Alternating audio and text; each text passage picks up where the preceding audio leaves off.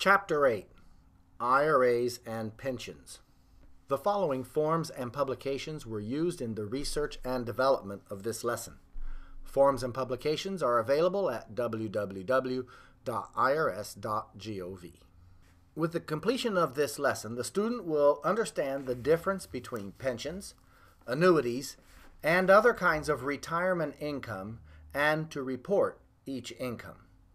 Generally, there are two types of clients those that have retired and regularly receive pension distributions, they will give you a 1099-R. Or those who have withdrawn pension monies early and therefore also get a 1099-R but may have to pay an additional penalty. A pension is generally a series of definitely determinable payments made to the taxpayer after they retire from work. Pension payments are made regularly and are based on certain factors such as years of service with the employer, prior compensation, taxpayer's age, and the company's stated retirement age. An annuity is a series of payments under contract made at regular intervals over a period of more than one full year. They can either be fixed, under which the taxpayer receives a definite amount, or variable, not fixed. The taxpayer can buy the contract alone or with the help of their employer or financial advisor. Here is a sample of a 1099-R form. Again, the basic format is the same. All boxes must be set up in this manner but again, a 1099R you can find in a variety of shapes and sizes. You will see the payer's name, address, and city, state, and zip on the left below following the payer's federal ID number, and directly to the right of that, the recipient's ID number, or usually their social security number. The priority when you look at one of these is box one, gross distribution. Then taxable amount. Generally speaking, the same amount is in both boxes.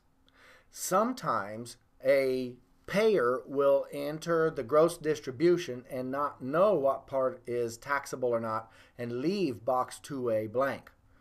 Be sure as a tax preparer not to assume this means that that gross distribution amount is not taxable. In most cases, it probably is and you need to indicate to do further research to investigate the amount that would be taxable. Sometimes you'll find box 2B checked for either taxable amount not determined or total distribution. But again, can't stress enough, box 2A blank does not mean there is no taxable amount. Another one very important that you usually will see filled out, and that is box 4, federal income tax withheld. Now, key to also on the 1099R is distribution codes, which is box 7. Now, this one very much important. The primary codes you will find is box is code 1, which means you receive the distribution, but it will probably be with penalties because it was an early distribution. The common code is code 7. That's a normal distribution someone who's reached the minimum age and is receiving regular pension amounts, they will have a code 7 there and no pen, no further uh, penalties. But it, of course, the amount is taxable income. Always look also for state tax withheld or at least the state tax payer's ID number.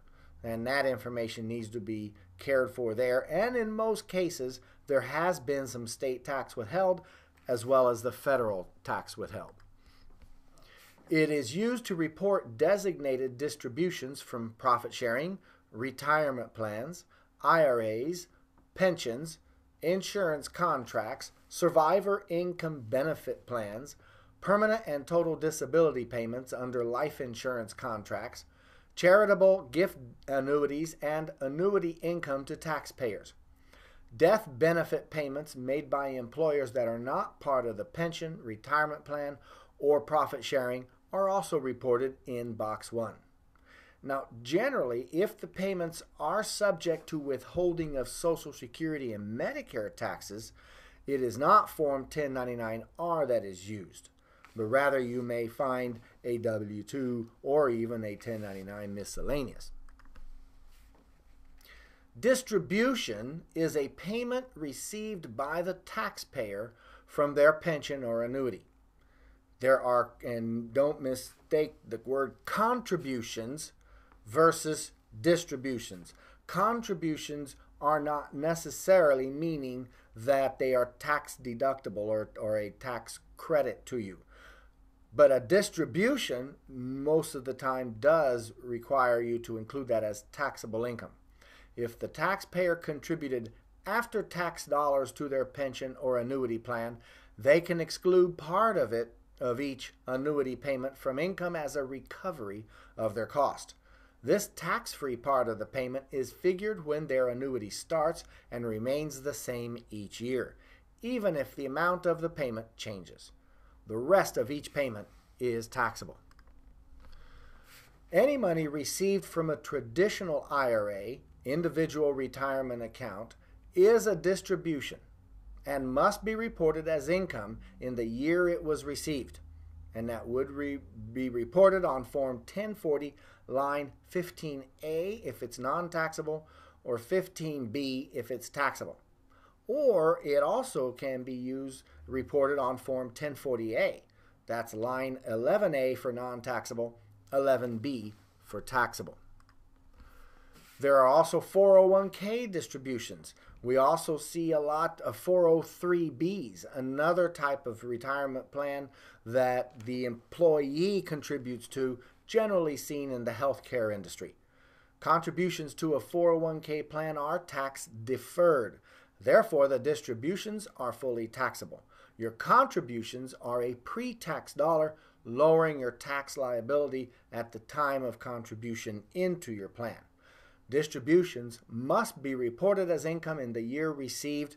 Again, Form 1040 in this case lines 16A or B, or Form 1040A lines 12A or B. An owner or participant of a traditional IRA must begin taking required minimum distributions when they turn 70 and a half. The first distribution must be made no later than April 1st of the following calendar year in which the owner turns 70 and a half. Once the first required minimum distribution or RMD has been taken, the taxpayer may select the terms of the distribution. For example, monthly or annually, and the distribution must be made by December 31st of each year. They apply to all IRAs the taxpayer may have vested. If the taxpayer made non deductible contributions in prior years, the preparer will need to use Form 8606 non deductible IRAs and Coverdell ESAs to figure the percentage of the distribution that is non taxable. Now, you, like I said, you will have and see 1099Rs from young people because in general, if the taxpayer receives a 401k distribution before age 59 and a half, including an involuntary cash out from a traditional IRA, Roth IRA, or other qualified retirement plan, or a modified endowment contract, the taxable part of the distribution is subject to an additional 10% penalty. And there may be an applicable percentage for state as a penalty. These are recorded and you include those in other taxes on the second page of the 1040. Sadly, many people, when they do take monies out early, are not informed of these additional penalties, let alone the fact that that distribution is taxable income. Now, there could be excess contributions tax for IRA. You complete form uh, Part 3 of Form 5329 if either in this year or in earlier years contributions to an IRA were more than allowed. If you remember, and the the issue becomes I contribute and right now the maximum is 5000 per year or 6000 if over the age of 50 into your IRA. If you by chance put 6000 into there, that portion that is greater than what you're allowed will become a you will be penalized on that and pay a 6% annual fee for as long as you do keep that additional amount in there. So as soon as you can deduct it or de, you know remove it, the better. Rollovers are tax-free transfers of funds from one retirement plan to another retirement plan. Be sure to work with your existing retirement plan managers to make sure that it gets properly rolled over into another retirement plan to where you won't pay taxes. Interestingly, even though it does not qualify and it is tax free, it is still an amount that you will receive on a 1099R and it will have under box 7 a distribution code of G, the letter G. That will indicate to you that it is a rollover and it will show up on your 1040 but not as taxable income. A lump sum distribution is the distribution within a single tax year of an employee's qualified retirement plan's entire balance from all of the employer's plans of one kind, for example, profit sharing, pension, and stock bonus. Highly recommend if you know of clients that might be interested in doing this to advise them of the tax implications, which for a lump sum distribution could be a sizable amount of money, which will you know, dramatically increase your tax. Conversions. A taxpayer can also convert a traditional IRA to a Roth IRA. The conversion is treated as a rollover regardless of the conversion method used. What is a Roth IRA? It is never a tax deduction because it is not pre-tax dollars up front. For example, if I have a Roth IRA and from my payroll I am submitting $1,000 a year into my Roth IRA, it does not impact my taxable income. It does not reduce my taxable income. I continue to have all of my income to be taxable. Whereas a traditional IRA of $1,000 would lower my taxable income by $1,000. But a Roth IRA has the same general requirements as the traditional IRA. The taxpayer, for a qualified distribution, the taxpayer does not include in his gross income qualified distributions or distributions that are a return of his regular contributions from his Roth IRA. So it does not become taxable income. Also, there is not the requirement as a traditional IRA to have minimum required distributions after the age of 70 and a half. Social Security. Social Security system was designed to provide supplemental monthly benefits to taxpayers who contributed to the system. In addition, it provides Medicare benefits and certain death and disability insurance. It is indexed for inflation. Social Security is reported on Form SSA 1099. Box 5 is the amount that will be reported on the taxpayer's return. It is also important to research and review the percentage of Social Security benefits that will be taxable. Not all Social Security benefits received will be taxable.